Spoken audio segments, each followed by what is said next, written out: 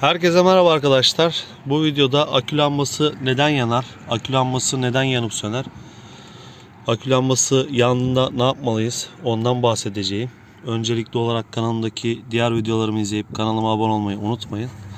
Şimdi arkadaşlar akü ikaz lambası burada.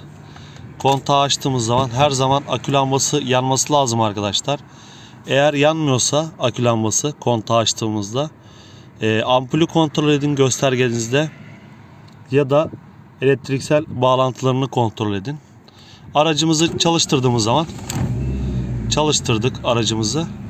Gördüğünüz gibi akü lambası söndü. Bu şekilde olması lazım arkadaşlar. Seyir halinde gidiyoruz. Akü lambası hafif kızarık yanıyorsa ya şarj dinamonuzu kontrol edin ya da e, aracın bir yerde bir şase vardır arkadaşlar. Ondan hafif kızarık yanar. Normal seyir halindeyiz. Akü lambası direkt yanmaya başladıysa e, hararet de yükselmeye başlar arkadaşlar. O da neden olur? Motorda göstereyim.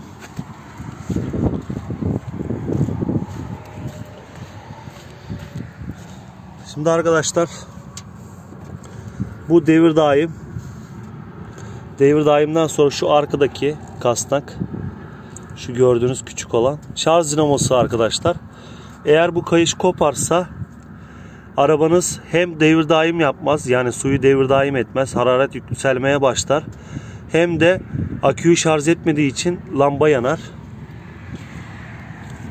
Kesinlikle arkadaşlar 90'dan sonra aracınızı stop edin soğutmaya bakın.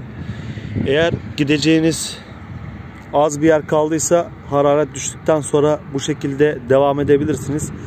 Ama dediğim gibi o kayış koptuğu zaman düz yanar akü lambası.